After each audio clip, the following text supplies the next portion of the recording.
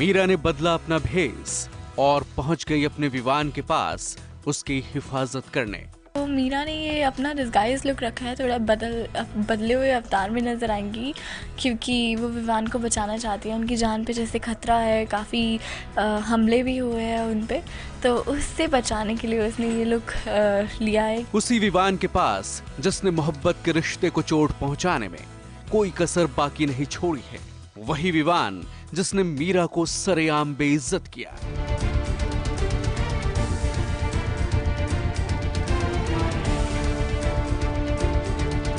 धक्के देकर सोनी कुड़ी एकेडमी से बाहर फिकवा दिया।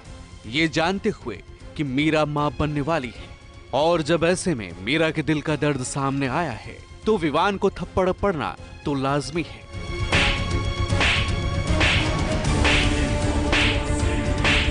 फिर क्या?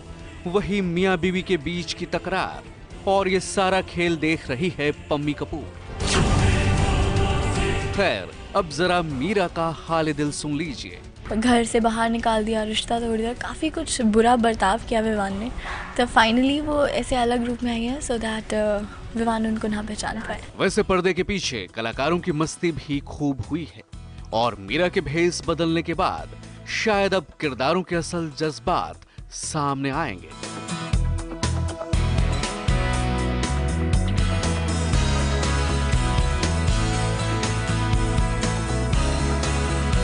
मुंबई से स्नेहा शर्मा के साथ एबीपी न्यूज़ रिपोर्ट